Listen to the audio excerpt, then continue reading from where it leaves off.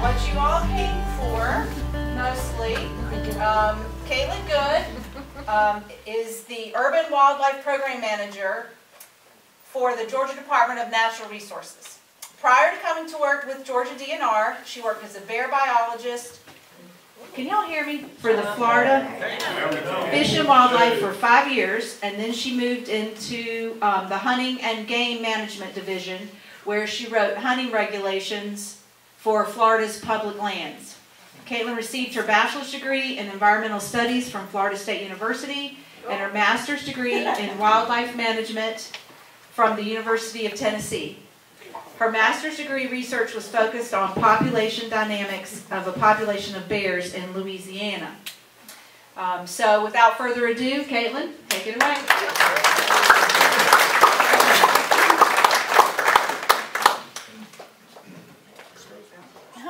Uh, good morning, everybody. Uh, like Dara said, my name is Kaitlin Goode. I'm the program manager for uh, DNR's Urban Wildlife Program. Um, this is my first time to Bent Tree. I've lived in Georgia for about three years now. My husband's actually from Blairsville, so the mountains are not foreign to us. Um, but thank you all for having me. Um, I'm going to talk a little bit about what my program does, which is very much Atlanta centric, um, but it is applicable statewide and to any um, to any human wildlife conflicts that you guys are having. Um, and so we'll get started. There's some videos, hopefully they play. Um, but so this is um, where we cover, we've got nine counties in the metro area, um, going furthest north to, to Forsyth, um, uh, which when my cousins live in uh, Ball Ground, and it's amazing how far that little area has come since they moved there 20 years ago. Um, and you guys, I'm sure, are experiencing that here too. Um, and then go ahead. Yeah, sorry. Um, so the program um, got started because there's a huge need for wildlife assistance in in urban areas um, where people that may may not be used to wildlife are interacting with it more often. There's more people and there's more wildlife living amongst each other, having having issues. And for the longest time, DNR didn't have anybody that was dedicated to the urban area of Atlanta. The closest person we had was two hours away on a wildlife management area planting dove fields. Um, and so anytime, you know, a phone call happened, he would have to get off the tractor and get in the truck and get to Atlanta, which is always a nightmare uh, in and of itself. Um, and so this program got started to kind of improve our customer service um, to people in Atlanta. Uh, DNR's traditional customers, right, are hunters and anglers. Um, but as as um, we expand our reach, um, we're trying to uh, be a service because we are a state agency. Our purpose is to serve all of the citizens of Georgia, not just our traditional users. Um, and so this was a, a, you know a great step forward into doing that. Um, so um, basically, my whole program is trying to resolve human wildlife conflict and there's two ways of doing that. There's reactive right? There's a deer stuck on my wrought iron fence. I need help. Um, but then there's also the proactive side of it trying to stop that before it starts trying to stop bears from getting into trash cans before it starts right um, and so there's two two ways of doing that, and and um, so we're trying to focus on both of those at the same time, um, and it's it's been fun. Um, the program started three years ago when I got here, so uh, we're still very very new um, and still still trying to find our footing, even though we've we've done a great a lot so far. Um, so in the past, and this is since July 1, 2019, so not even three years yet, we've responded to over um, 5,300 calls in the metro Atlanta area. Um, a third of those would result in a site visit where one of my staff would actually go out and assist somebody on the ground versus over the telephone. Um, and then uh, the majority of these calls are related to deer and then coyotes or foxes. Um, deer are our number one species that we get phone calls about, uh, believe it or not. Um, um, so I've used the word conflict. Um, uh, a lot of people use the word nuisance. Um, really, the overall term is human wildlife interactions because interactions can be positive and negative. Um, when we talk about conflict, we're talking about negative interactions. Um, and that's for people and wildlife, right? The deer get getting caught up on a wrought iron fence is probably a negative interaction for them as well. Um, and so uh, when I talk to people about conflict, there's a whole spectrum of it. For some people, simply seeing a coyote in their backyard is a conflict for them. And, and that's fine. If that's where you are, that's fine. We can work with you on that. Um, our job is to give you the tools to see as little or as much wildlife as you want with the you know the sideboards of they're still going to be there. They're going to exist right? So but we can help you reduce the amount that you see them or increase the amount that you see them um, that's you know reasonable as well.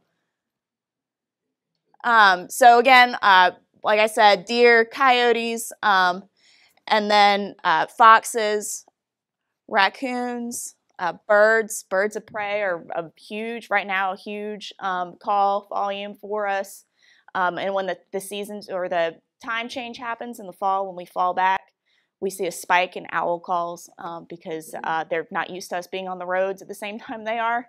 Um, and then most of the calls that we get are about sick, injured, or orphaned animals or just sightings. Um, so those are our two big categories. Um, so I'm going to talk about our common species, um, and I know you guys are have a really good base for, for wildlife knowledge here. It's why you're here on this committee. Um, but the first one I'll talk about is raccoons, and, and I'm going to go through some basics about all of these because it's really important when we start talking about conflict. Raccoons are omnivores. They eat everything, um, pretty much. Um, they breed from December to June, so they have a long breeding season, but it peaks around this time, March. Um, and then they'll have kits um, about in about two months, and then they will uh, stay with the female for a year. Um, so they only have one litter annually, um, and that litter size changes on how healthy they are. Right, the better um, shape mom's in, the more kits she can have and keep alive. Um, normal behavior, yes, they're mostly nocturnal, um, but if and this is maybe not so applicable to y'all as it is to our urban our urban folks, but like the subdivision's nice and quiet during the day, right? Because everybody's at work and school. It's a great time for a raccoon to come out and raid a trash can. Doesn't mean they're rabid. so, so those are the same conversations we typically have over and over again. Yes, normally they are nocturnal. It doesn't mean they can't adapt and change their behavior based on what we're doing. All right, so bats, we've got 16 species of bats in Georgia. Um, they're all insectivores, so all they eat are insects. They're wonderful, they do a wonderful service for us, and we appreciate them. Um, perhaps not in our house, but we appreciate when they're outside. Um, and so life cycle, um, they breed in the fall, um, and then they, their maternity season is uh, starting next month. Um, so from April to July, bats are protected um, from removal, from home removal, because their pups are flightless. So if you have, now is a great time to actually check, make sure you don't have any bats in your attic, um, because nuisance wildlife control operators are not allowed to come in between April and June and remove them unless there's a human health issue. And by human health issue, I mean the FedEx shipping center in Atlanta that had guano dripping down onto the packages that they were sorting through. Yeah, That's how I feel too. Um, I, I, learned a really valuable lesson that I'm um, very allergic to guano. I had a nice asthma attack the first time I did a bat call when I was here in Georgia. Um, had never done bat work before, um, so now I look like a really big nerd with my huge face mask and I glove up real big because I will absolutely like you'll have to take me to the hospital. um, but normal behavior, um, they're most active in the evening and early morning hours when their food is active, right? Um, and then um, they do um, hibernate here. They roost um, up in trees or caves. Lots of cave bats up up this on this part of the world. Um, and uh, like I said, their, their maternity season is from April to July. By the end of July, all of their pups should be able to fly, so doing exclusions is not a big deal. Geese. Um, I know you guys are familiar with those. Um, so uh, their life cycle, um, they're, it's what we call pair bonded. Um, so lots of people like to think of it as mating for life it's not as um, emotionally taxing on them as that is for us. Um, uh, so, so that to say, if one of them dies, they'll they'll find another one because their goal in life is to have as many babies as possible and to survive as long as possible. And you need a partner. Geese need partners to do that. Um, breeding happens right now, um, and this will all all come together. Um, all of this right now breeding that's happening, um, and uh, they will hatch. Um, takes 28 days for them to hatch, and then you'll start seeing the goslings around for a while um, until they're able to fly. What's really important is geese molt once a year in the month of June, which means they become flightless and they become a pain because they can't go anywhere. Wherever they are, that's where they are for that whole month until those flight feathers come back. Um, and they are most active at daytime. They can be super uh, protective of their nests. My husband um, worked in Chicago. My, he's also a wildlife biologist. Um, so between the two of us, we have some really good stories. Um, but he was working in Chicago and he was doing some goose work. And like they had one person that had a backpack that was like basically a shield while the other person did the egg addling, uh, addling. And, uh, and so, you know, he was getting attacked by geese regularly. uh, Can y'all hear in the back? yeah, okay.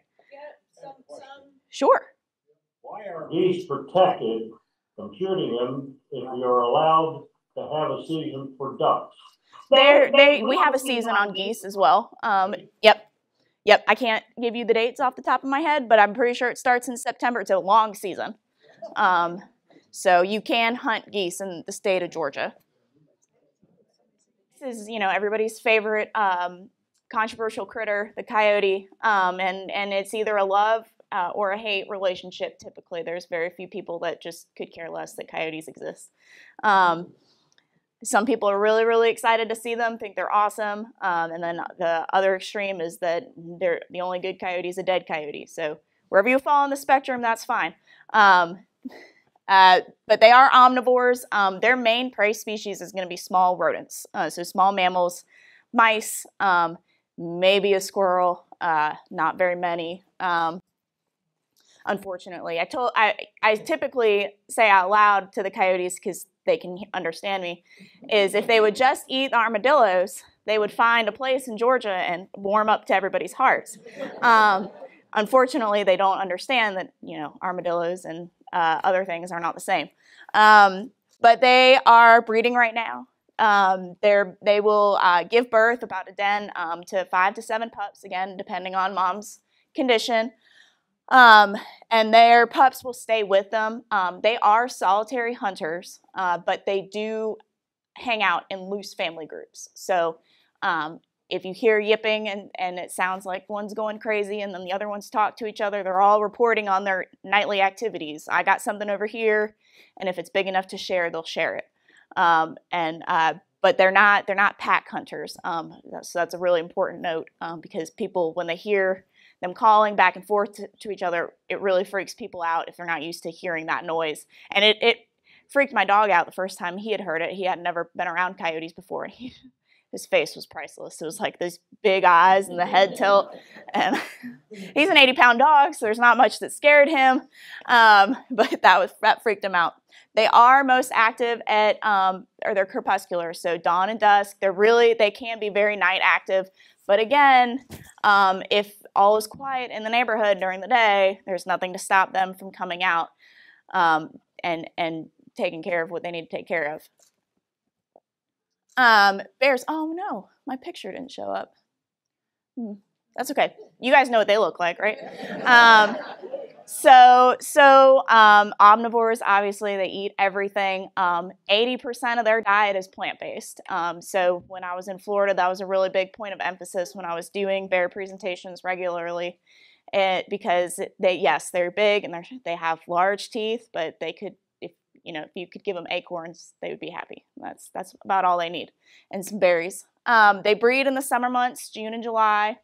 Um, uh, the yearlings stay with mom for a year and a half, or the cubs of the year stay with mom for a year and a half, and they get kicked out in June, which is when um, your bears are nice enough to travel to Atlanta um, and end up in Sandy Springs at 75 285 interchange. We greatly appreciate that. Um, yeah, we had one that, oh my goodness, this poor bear. Well, it was very impressive. Uh, it was little, little bear. Um, I mean, maybe 60 pounds. He was a tiny yearling. Um, and it's the same time as the Sandy Springs bear, if you followed that one. Um, but he made his way all the way from Top Golf in Alpharetta. Um, he followed this power line straight into um, this industrial park in Gwinnett County, like, I mean, just on the other side of Atlanta, and then made it out to Jackson County. Um, so it was amazing to watch him uh, travel. And, and this isn't relevant for you guys as much as it is for our Atlanta folks that freak out um, when the bears are there. And I understand, right? Like you're going out, you, you live in, uh, you know, Buckhead, and there's a bear in your backyard. That's a little different than here. Um, but uh, you, we really do try and let them travel because they are on a mission to get somewhere um, for the most part, and and and it's to establish their own home range and and move, and uh, that's mostly males. I didn't get hands on that one, um, so I don't know that it's a male, but the Sandy Springs one was a male. Um, and so there's just these males trying to push out and find their own space, and they get caught up in um, Atlanta traffic. Um, sorry, I couldn't help that one.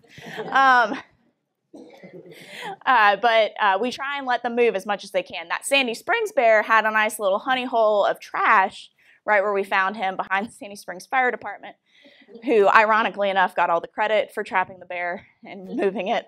Um, and we we assisted. Like, really? I for sure fired the dart gun. um, but that's fine. I don't need the credit. Um, so bears' normal acti- activity, they're most active at dawn and dusk. They're crepuscular. Um, they will, um, they den up, right? They're denning right now. They're having cubs. Um, uh, the bear biologist last week went out and had a female that had three cubs and was nice enough to send me pictures. Um, it didn't make me jealous at all.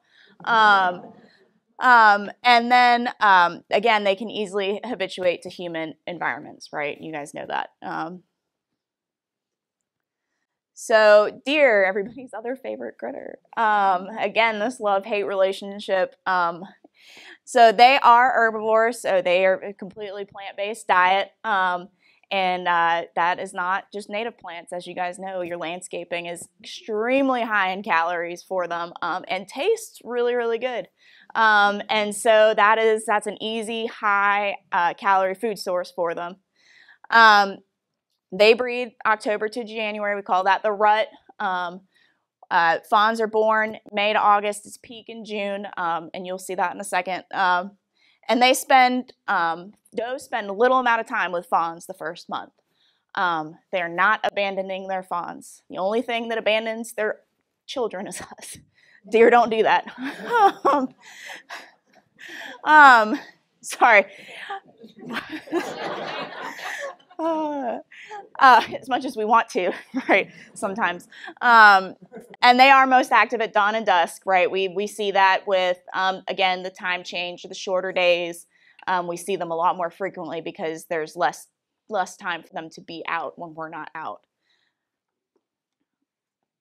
All right, foxes. So we have two species of foxes here, gray foxes and red foxes, and they're fairly similar as far as life cycle goes. Um, gray foxes are native. Um, red foxes were actually introduced when Europeans um, came over, uh, but they're naturalized, so we consider them a, a naturalized species, um, have a hunting season on them as well. Um, but they're mostly small mammals, um, birds, uh, insects. they breed January through April and have their, uh, their kits in the, uh, their den.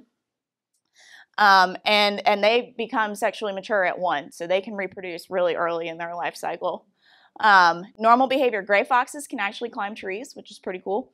Um, and uh, they have a little bit of a smaller home range than our red foxes. Um, so if you see them, you'll probably see them regularly. It's probably the same one.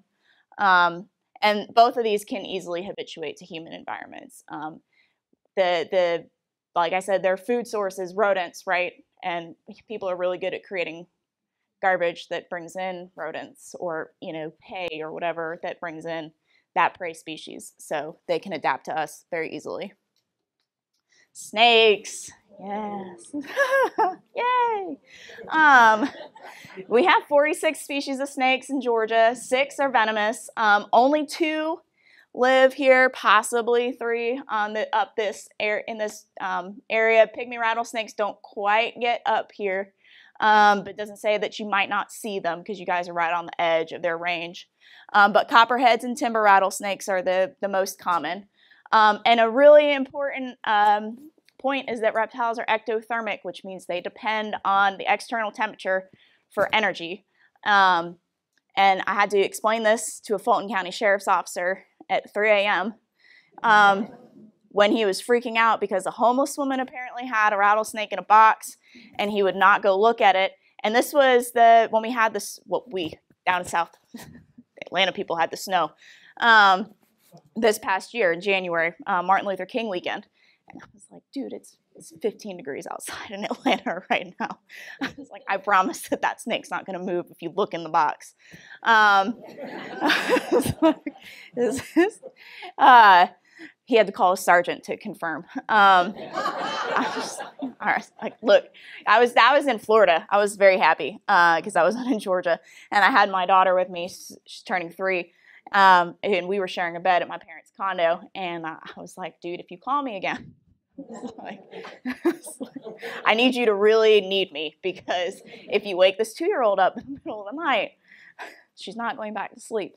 Um, but anyway, uh, so they're ectothermic. Right now, um, you probably are going to see them moving a little bit because it's starting to get sunny. Um, and copperheads, in particular, are wonderful at blending in with their surroundings in this type of um, the leaf environment. Uh, we were moving limbs yesterday, and I was like, "We're going to see a snake today." Just like pulling the limbs in my flip flops, going. Hmm, like this is a poor life decision. Um, but go ahead. Um, so a little bit of a quiz. Uh, copperheads? Neither. I tricked you guys. Um, these are both banded water snakes. Uh, you can go to the next one. All right, one more time. This isn't a trick. Yes, yes. Um, and it's juvenile, right? It's still the little green tail. Um, but copperheads have really distinctive, what we call um, saddlebags. So if you've ridden a horse, you know, like the saddlebags that sit behind you. Um, you can see hourglass shape on the back. I like the saddlebags because that's, for me, that's a better um, description uh, and sticks with me. Um, but, but yep, so non-venomous snakes will look like venomous snakes. It's a strategic, um, you know, uh, evolutionary choice for them, um, having the fake uh, venom pits and the, the smaller eyes. Um, uh, so it helps them look like a venomous snake to things that might want to eat them um, and, and helps protect them from predators. All right, so why did I talk about life cycle over and over and over again? Because when it comes to conflict, um, that's when we see it. Um, baby making season, baby rearing season, and then that's uh, deer. If you want to go to the next one, this is uh, really. Um, you can see the deer fawn calls peak, um, and then the rut peaks um, for as far as phone calls go. And my husband is a deer biologist for the state, um, got his master's degree doing deer stuff. And I was like, look at this cool chart I made for my PowerPoints. And he goes, why are there no fawn calls in January through June? And I will forever tell this story because I just looked at him and I was like, I don't know, Matt. Why aren't there any phone calls? uh, I love it. Um, but yeah, because there are none, right? Like you can see when they lose their spots, when they drop and when they lose their spots. Um, and it's just it's such it's such a visual like we get phone calls when things are having babies or making babies or having babies um, because they're just so active. Like coyotes, you think about ha- them having pups, mom and dad are going back and forth from the den to getting food. You see them all the time when when I see, you can tell when pup season is because we just our phone calls are off the charts. I saw a coyote. I never seen one before. I was like, well, it's been there. Um, just goes through my yard every afternoon. Yeah. Have you ever stayed up with a newborn? every two hours. um, so, so you know, ha- that's it's very important when we're talking about conflict. Is what time of year is it? Because that's when you're going to have the conflict. Is during these two seasons for sure. So, um, when we talk about conflict, there's three things that wildlife need, and they're the same three things that we need: it's food, water, and shelter. So, wildlife does not want to hang out with you. Doesn't want to be your friend. Doesn't want to share space with you any more than it absolutely has to. You have something that they need to survive, and that's food, water, or shelter. One of those three things is why that animal is in your backyard. Um, again, like we we had somebody call and said there was a bunny looking at me. Like, I can't, I can't help that. zero, zero percent that I can help about that. Um, so that I don't, I guess that's not a conflict, but, um, but you know, the bunny was eating his landscaping, and he came out and was yelling at the bunny, and the bunny looked at him, and well, you know, you have food. Um, but anyway, so when we talk about conflict or we talk about wildlife being around, it's for one of these three things. It doesn't matter what animal it is, it's one of these three things. Um, and so when you figure out the animal, you figure out what they eat, right? Omnivore, herbivore, what their main prey species is. Um, you know, water sources are very fairly easy to identify. Um, and then um, shelter. What time of year is it? Do they have a den underneath somewhere that is making them, or do you have logs and stuff in your backyard, a brush pile that make really good shelter for them? Um, so those are things that you need to think about when, if you're having an issue with a specific animal. So we'll kind of go through some of it. um, so I give this PowerPoint at our um, law enforcement academy also um, because training them is just as important as um, training ourselves uh, because they talk to the public just as much as we do. Um, and so wildlife biology 101 um, a lot of times you can just explain to somebody what's happening the coyotes are trying to rear pups right now that's why they're so active um, that sense of knowledge um, reduces the fear because a lot of the fear associated with wildlife is just a lack of knowledge. Um, and so just giving that little bit of education can go a long way. Um, next one. But some things are a little bit more complicated. Um, bears and subdivisions. Uh, at the I 75 285 interchange. I was just sitting there watching that bear move around. Um, I was in Sandy Springs and getting phone calls and putting them, trying to catch up with this bear. Mm-hmm. Uh, and I was just like, I swear, if this bear gets inside the perimeter, people are going to lose their minds even more than they already have. Um, raccoons on porches, uh, bats in the attic. Um, so those are a little bit more complicated because they're a little bit scarier for people, right? Um, that's like a space invader type of situation um, when there's something in your house, right? And it also, um, just you're good, you're good. It also requires people to take some type of action on their part, right? And we know that motivating people is the easiest thing ever. Um, changing human behavior is is it, it's easier to change wildlife behavior than human behavior.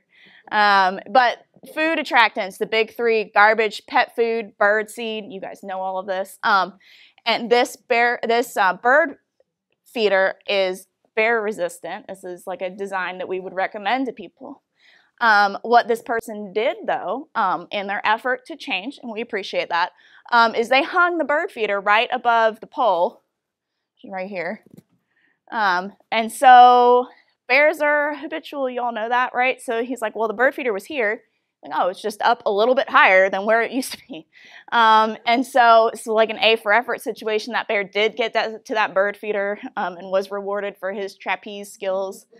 Um, and then pet food. Pet food's bad for a couple of reasons. One, if you have a dog, um, they're a little bit protective, right? That's their food. That is not anybody else's food. Um, and so that can cause situations with deer, raccoons, bears, uh, foxes, coyotes, anything that would eat that food in addition um, to the dog or cat, um, it can cause issues. Um, other things, um, gardens, landscaping, livestock, compost piles that aren't properly maintained. Um, does anybody want to take a guess what killed the sheep? It's a, I, I tricked you guys again. I apologize, but um, this was actually a cat, uh, so a mountain lion, and we have this really cool um, diagnostic chart um, but cats cats do the throat first, um, and then they immediately start to eat the rib cages. Coyotes will go for the um, entrails first, so the guts. Um, that's the first thing that they eat. If it was a bear, it would be like a murder scene, because bears are very very bad at killing things. Um, like you know, this is the conversations that happen at our lunchroom. Is what wildlife species would you want to die from? and, uh, and mine is for sure a big cat it's quick. It's over. You don't even know what happened. Um, yeah, I know. I'm sorry. um, but if you want to go to the next, yeah, you can. Um, so this is our, our diagnostic chart um, that the state of Washington did for themselves, but is really nice because it applies to our states too. You just take out grizzly bear and cougar and wolf, um, hopefully. Um, and and we can we can diagnose the depredation. Uh, and so um, it's it, a little bit of CSI when you do livestock. I had to do a bunch of them in Florida for bears, uh, but livestock depredation stuff. Um, so it's it flexes your brain a little bit from getting outside of your normal management stuff that you do.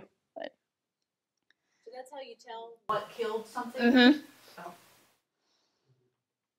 So um, another thing to think about, and I've already said it, is rodents, right? These are um, a big prey species for foxes and coyotes. Um, and so if you have something that's attracting rodents to your backyard, it's going to attract the things that eat the rodents, right?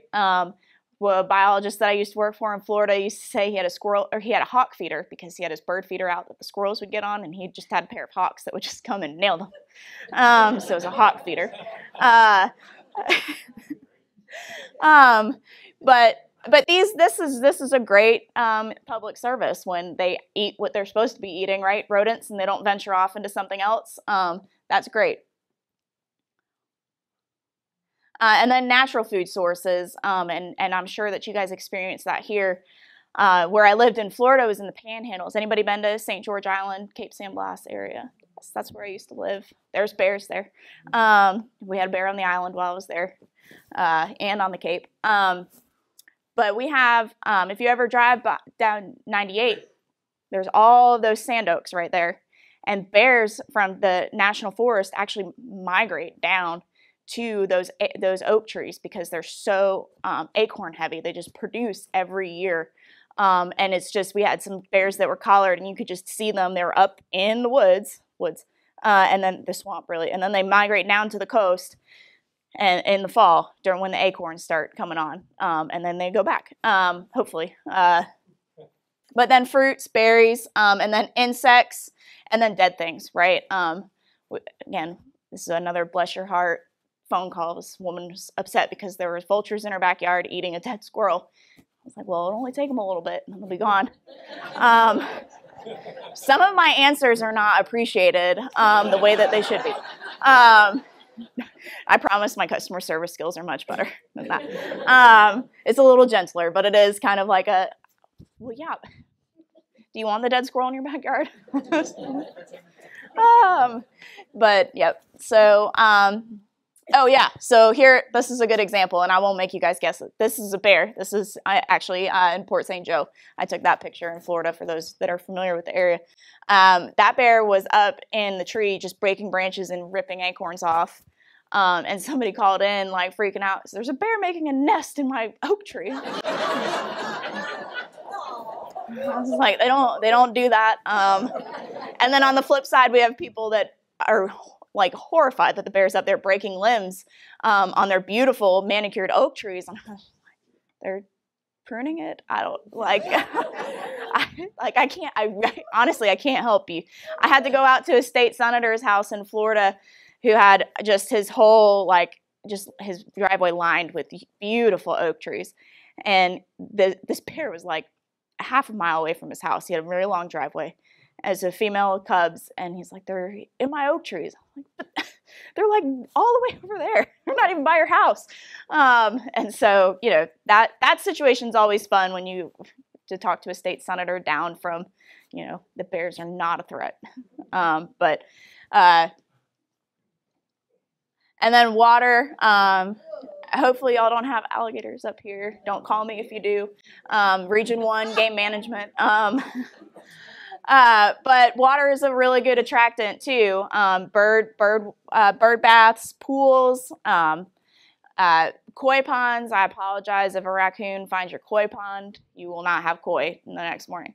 Um, and then ducks, ducklings in, in, in pools. We get lots of phone calls about that in the summertime.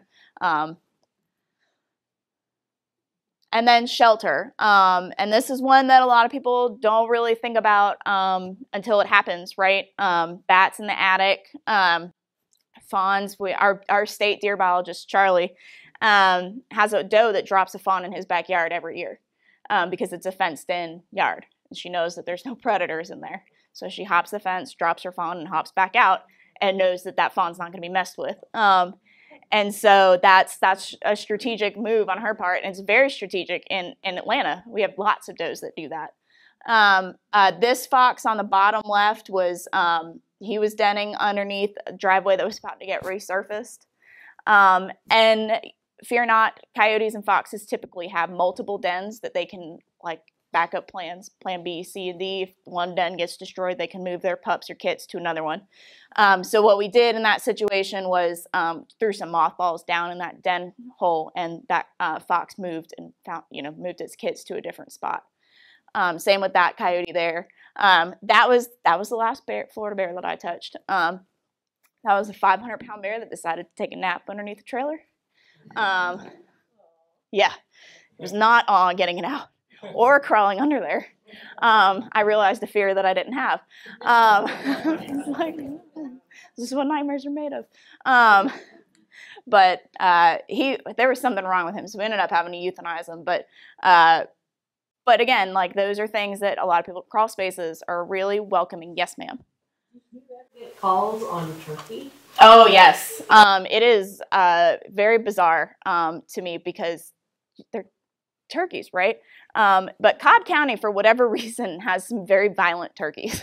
Um, like they are aggressive, um, and I don't know what their attitude issue over is over there. But the the, the turkeys in Cobb County have an attitude problem. But but the problem with turkeys is once they've decided that they're the dominant bird, there's no changing their mind. They're they're it. Um, we had a woman that got spurred by a turkey. Yeah, and then it wouldn't let her out of her house. Like, you know, like, ah, turkey season's almost here. I was like, hold on, two more weeks, and you could take care of it yourself. Um, Yeah. yeah. Come up our driveway, just Yeah. feel like they own the. Oh yeah. Yep. Um, and we'll talk about we'll talk about some of those uh, strategies for dealing with um, wildlife that have have an attitude problem, uh, for lack of a better term. Um, you can go, yeah. Um, so resolving conflict, um, removing attractants, securing them in some way, um, picking up the pet food when you're done with it, and actually that raccoon's in the water bowl. Um, so again, water um, as a uh, an attractant. Uh, we're putting up exclusions on our blueberry bushes because the deer are already hitting them. Um, they're baby blueberry bushes, and Maggie's obsessed with them. So we have to save them. Uh, and then deterrence, if you want to flip to the next, sorry. I feel like naked without my clicker. Um, um, so that the water scarecrow right there, um, the stick with the yellow on it is my favorite thing. Um, it is a motion activated sprinkler and it sprays sporadically, so there's no pattern to it whatsoever. Um, and it is a heavy stream. Um, I still have not gotten the photo of my employee getting sprayed by one. He, he had he just planted fresh landscaping, and of course the deer were on it immediately. And so I was like, take this home with a game camera, and we can get some pictures of the the deer getting sprayed. It'll be great for a PowerPoint. Well, the first picture is Kevin going like this because he I still don't have it. Uh, before he retires, I will get my hands on that photo. Um, but that's really great for wildlife that has a, um, a set route. Um, so if you have a string of turkeys that walks the same path every day to your yard, putting that in their path so they get sprayed, it might not deter them completely, but it's at least going to break up that path. Um, it works really well for deer and bears because they are habitual walkers. They walk the same trails. You put it on their trail and they move their trail. Um, so they'll still be around, but it's at least the, they have not beaten a path through your backyard. Um, coyote silhouettes work, um, but you do have to move them regularly. So anything that um, is a deterrent, you need to do on a regular basis and change it up so that the wildlife doesn't get used to it. Um, Milorganite is pretty much the only thing that I recommend as far as um, deterring deer or applying something to your landscaping um, to deter deer. Um, we put this on our hostas annually. Um, sometimes they still get um, hit, but you do have to follow the manufacturer's guidelines as far as like when to put it out. But there it is. It is successful. It is a fertilizer made from human waste, so maybe don't put it on your garden if you're going to eat those. um, but it does work really well. And the person that came up with this idea to produce food fertilizer, sell people back their own poop, genius. um, um, yeah. And then exclusions. Um, so putting up hardware cloth on your gable vents, make sure bats can't get in. Um, wiring for geese. Um, geese have to land on water to walk up on land. They can't land on land. Um, so if you have an issue with geese coming up in a certain area, putting up some fencing or some netting so that they can't get up. There are some um, really um, thick landscaping around the water's edge. Really good options um, because they can't get past it uh, up onto the water. Um, and then my favorite is electric fencing for all of the things. Everything hates electricity. Um, and I know that that is not a, a favorite of everybody. I already see people shaking their heads. Um, but it is, it's my favorite thing. Um, and then wait it out, right? There's a seasonality to conflict. I showed you that already. Um, you wait till the geese put their flight feathers on and then scare them off so they fly away. Um, birds of prey are protected under the Migratory Bird Treaty Act. And so if you have a hawk that's made a nest in an unfortunate spot, um, like your house right above your door, um, and has laid eggs, you're stuck with that hawk as your neighbor uh, until those eggs hatch and those uh, chicks fledge. So um, something to keep in mind. Uh, and then like bat maternity season, um, it'll be over soon uh, type of thing. And then removal. Um, you guys are absolutely within your rights to hire a nuisance wildlife control operator to remove unwanted wildlife that they're allowed to remove. Deer, bears, turkeys, sorry, um, they're not allowed to do. Um, In the smell? yes, that's a cat in its mouth. So yes, that happens, right? We all know that. Um, not as frequently as people think that it does. Um, cats are probably more likely to be taken by an owl than a coyote. Um, uh, so don't always blame the coyote just because you saw it and then the cat was gone. Um, not to say that they don't do it. But my point in this slide is um, I would rather have this coyote that's eating the mice and voles, right, than the, what I will deem as a serial pet killer. Um, and and so if you know that this coyote is doing bad things, absolutely trap and remove it. But if you just know that there's a coyote in the area and it's really not doing anything, that's maybe not a coyote that you want to trap and remove because you don't know what coyote is going to come next. There's always going to be another one, um, and it might be the serial pet killer from down the street. Um, so you want to be, you know, strategic about what animals you remove because nature doesn't like a vacuum, right? Um, if you take an animal out, another animal is just going to fill its space if those attractants are there.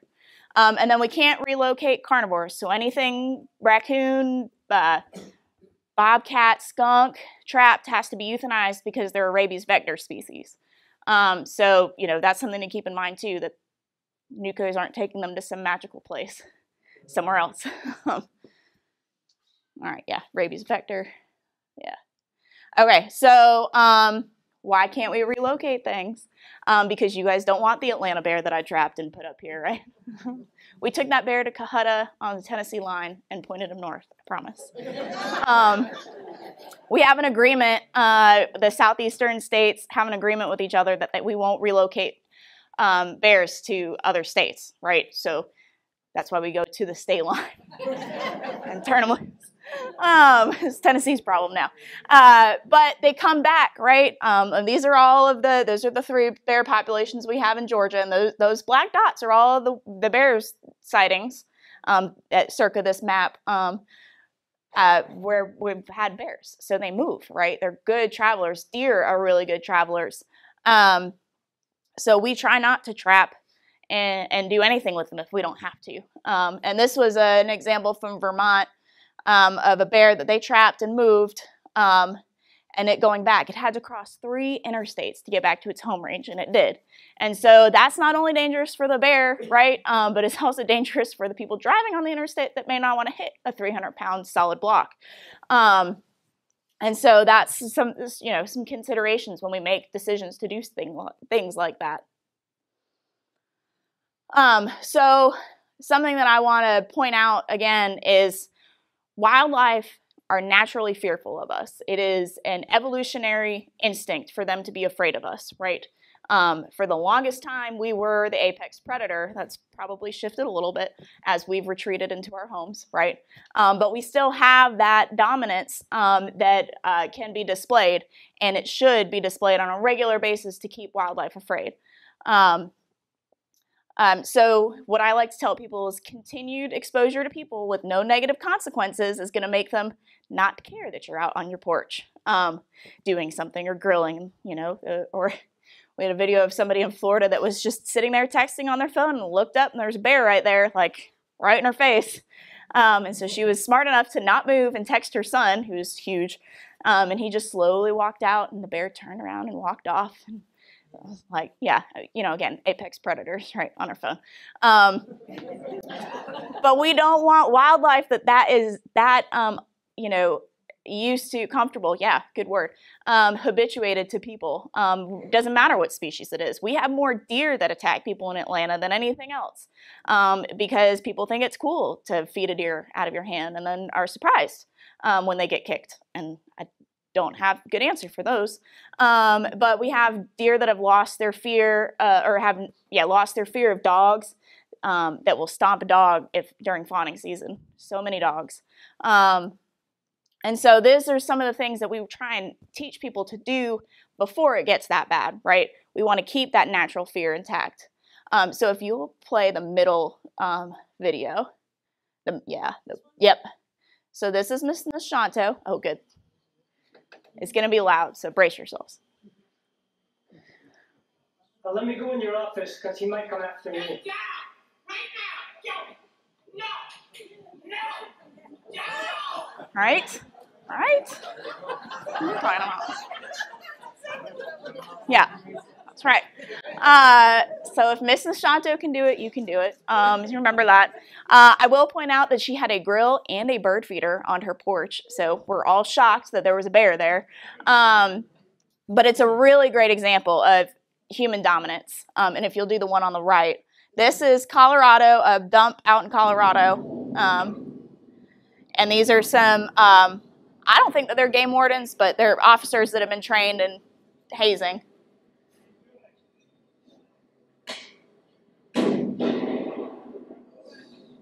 So, so watch, watch the bear. He stops and turns around. Do I really have to leave? Yes, yes you do.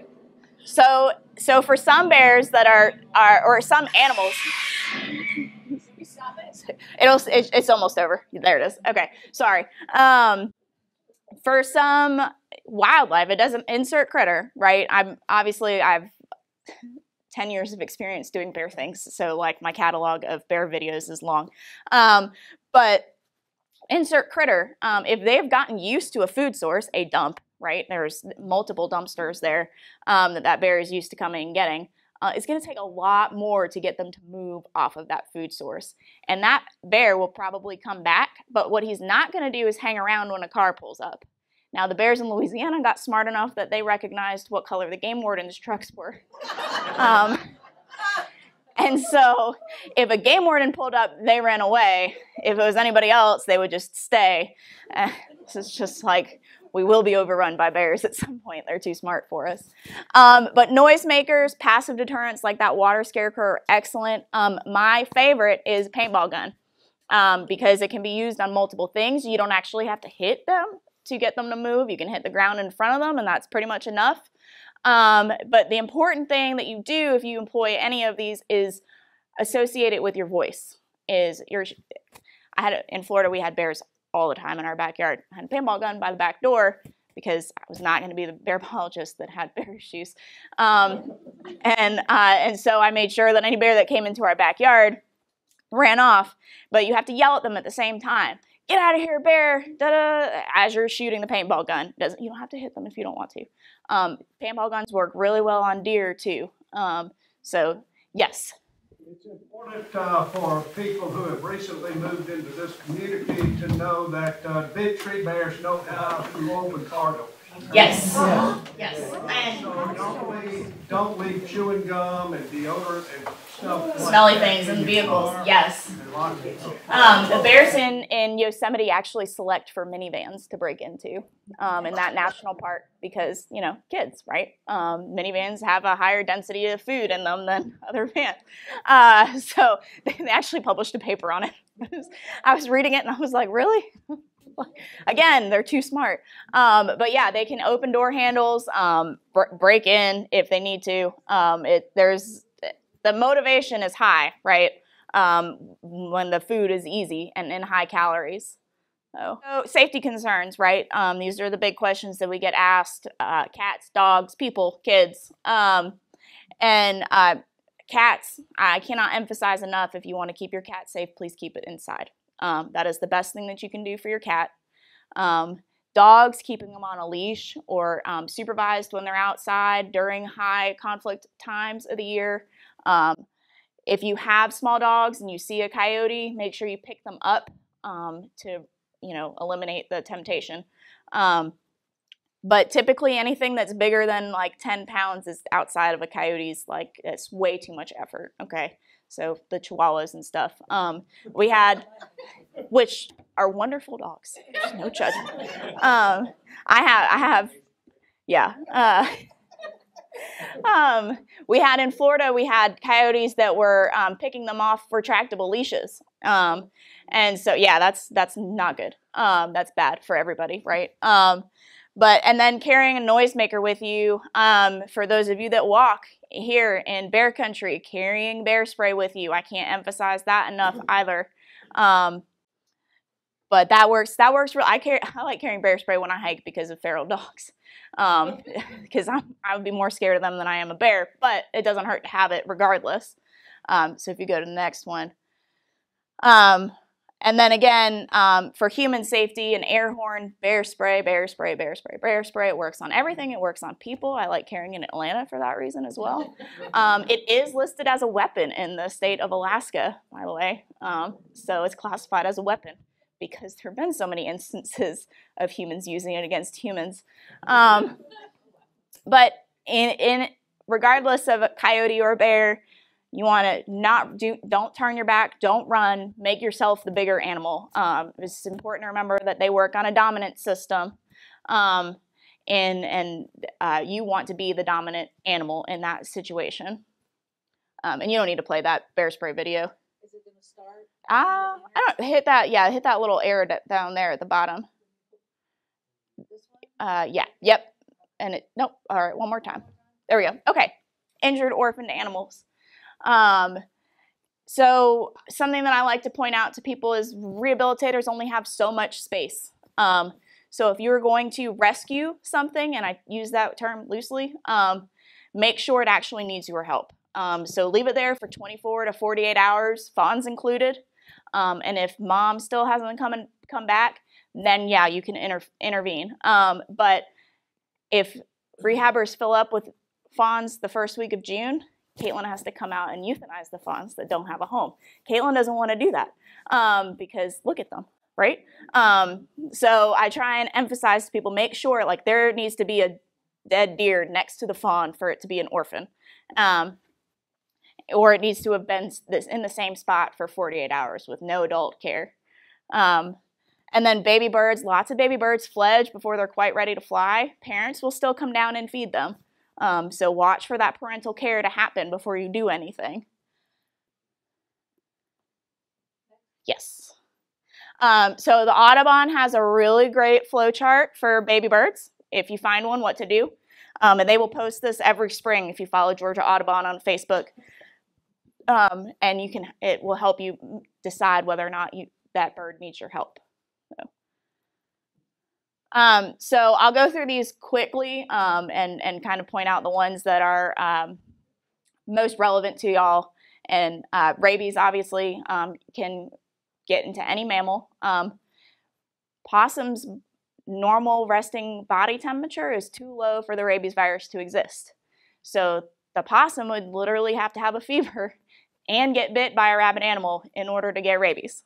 Um, so in general, we say possums don't carry rabies because it would be a very, very extreme scenario.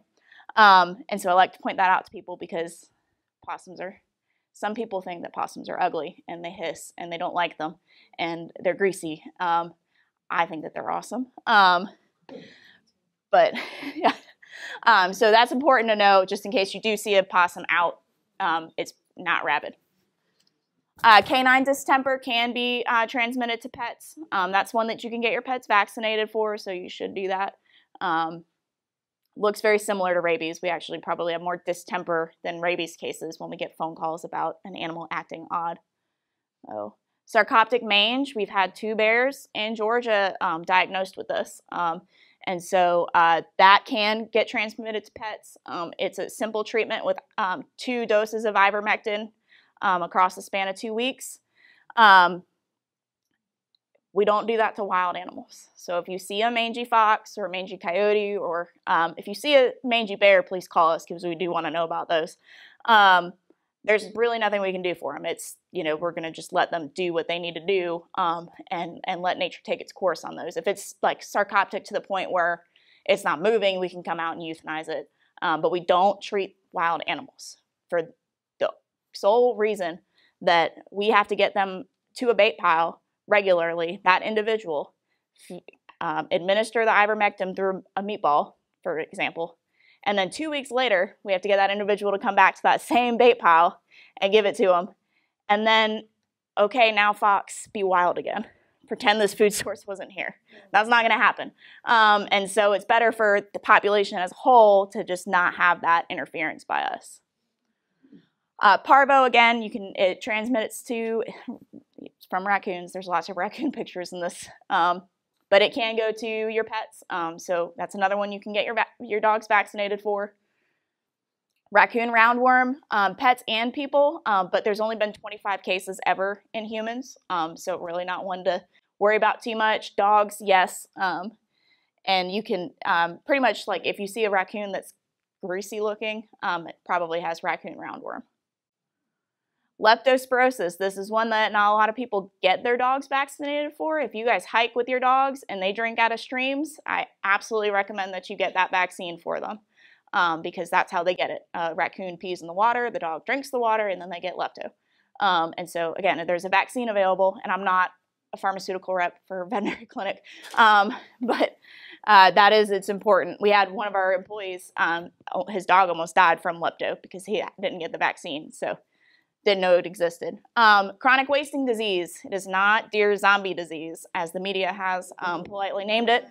Um, they put that out like right before COVID hit. Like that article came out, and then you know COVID happened in uh, China, um, and I was just like, oh my god, people are gonna think that the deer had COVID first. Um, but anyway, it's similar to mad cow disease, um, except right now we don't. It doesn't. We can't say that it transfers to people. Um, we have no evidence that says it'll go up the food chain through um, to people, but um, it is uh, a severe gradual decline in body condition. This is a deer in Cobb County that we got a phone call about, and we were there in an hour because that is a deer that looks like it has CWD. We do not have CWD in the state of Georgia. Um, Alabama and Louisiana just went positive, um, and Tennessee, West Tennessee has it. Um, so creeping closer to us, um, and it is something that we're absolutely monitoring for and sampling rigor rigorous, rigorously um, during hunting season. We're taking CWD samples and sending them off to the lab. Um, hemorrhagic disease is one that has plagued the mountains. Um, you guys had a big outbreak of it several years ago. Um, and uh, blue tongue in cows, similar. Um, the, it's sent, it's uh, distributed by midges. Um, basically, the deer are bleeding out internally. Um, and so they seek out water because they're hot. So if you see a dead deer near water, we want to know about that, or sick deer near water um, in the late summer. So August, September is kind of when we see that peak. If we're going to have an outbreak, it's going to be in those months. Um, and so I'll, I'll do this quickly, but um, we typically go out for injured, trapped wildlife. Um, deer are really, um, really dumb. Um, and I know that everybody loves them because they have cute doe eyes, literally. Um, but they get into so many situations in Atlanta.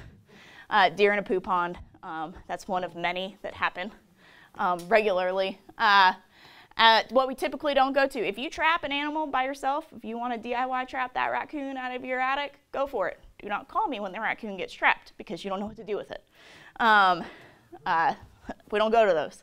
Um, mobile injured animals, so like I was talking about the mangy foxes, um, if it's mobile and can move off, by the time we get there, it's not going to be there. So, um, you know, if it becomes, if it worsens, we'll go out and we'll euthanize it, um, but only if it's going to most likely be there.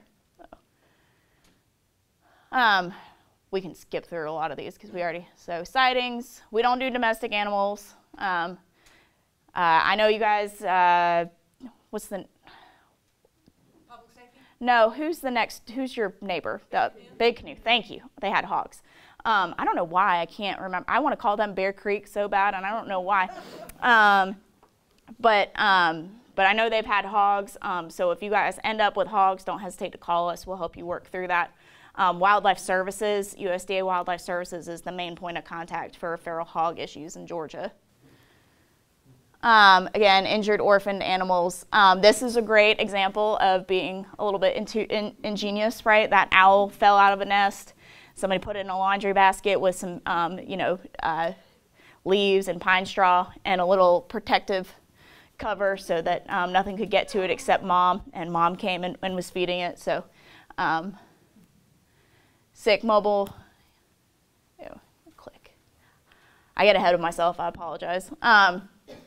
Injured wildlife. Um, we typically euthanize everything that we get just because um, there's just not enough help to rehab, and, and a lot of the animals are just beyond rehabbing and releasable. The only thing that we don't do are bald eagles because they're our special snowflake bird. Um, they have to go to a rehabilitator and a veterinarian for examination because they're our um, federal emblem. Sick wildlife, um, bat and house, we always try and go out or get animal control to go out and, and test. Um, bats have a really low prevalence of rabies, but it, if they bite you in the middle of the night and you don't know, rabies is 100% fatal in people um, and, anything. Um, and so we want to make sure that that person's getting post exposure shots if they need to. Habituated wildlife, here's your turkeys. so these, these wonderful people um, accidentally ran over a turkey nest. Happens, right? Um, and they, they're not all of them, not all of the eggs uh, were damaged. And so they took their eggs and incubated them in their chicken egg incubator. Uh, and then raised them. And we're like, well, now they're just like wandering in the streets and aren't afraid of people. And I was like, I'm shocked. Um, so those turkeys live at Dauset Trails now. Um, but we had that deer with a collar on its neck, that deer with a um, leash, um, and that deer was a turd. Um, he tried to get us as soon as we got out of the car. He went straight for Kevin um, and like put his head down like he was gonna buck him. Um, and so we can't do anything except euthanize animals like that. And I hate that, right? Because it's not the animal's fault. Um, but we can't have wildlife that's completely unafraid of people. Um, so it's not the animal's fault. It's for sure the person's fault. But unfortunately, we don't have a lot of choices. So this is the hawk that um, built a nest over the doorway. Um, so we, and we also have a barred owl right now in Buckhead that's um, dive bombing people. It's hit 40 people so far in a one square block area. Yeah. Um, including us, like, because we tried to simulate the swooping that's happening, and it swooped us three times. It just kept doing it. Um, so that's a bad. That's a bad owl. Um, so trapped wildlife, like I said, um, deer, bless their hearts. Um, they get into all sorts of situations, and then big birds getting into netting. Um, that pileated woodpecker was stuck in a screened-in porch. A copperhead in some landscape netting. Um, Shane was brave enough to get him out unharmed. So both both him and the snake. Um, he told me after he did that, I was like, that's probably one that we need to like, you know. I'm pretty sure OSHA does not approve. Um, uh, so owl in a basement. You can, there's, yeah. What, how much time do I have?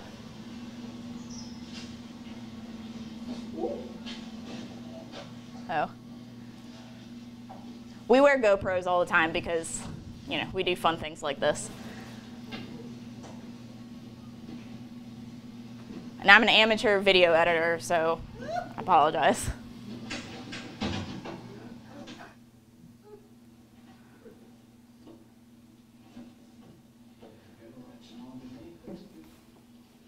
Oh. So that owl actually fell in this guy's old wood stove chimney that he hadn't actually enclosed. He thought he had. Um, and so the guy went down to do laundry in the basement, and the owl swooped him, and he like totally. But there he goes. Off he goes. Yay! Yeah.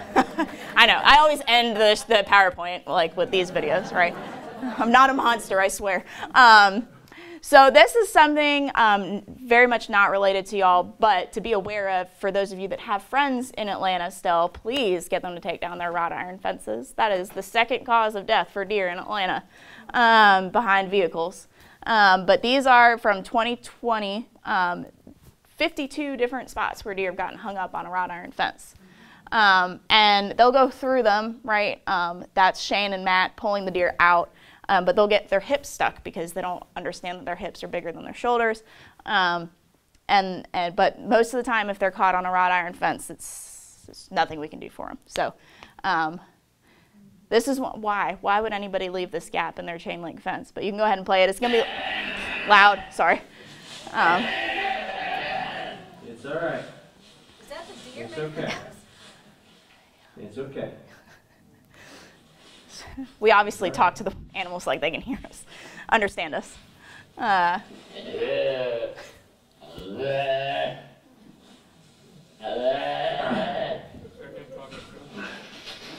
yeah.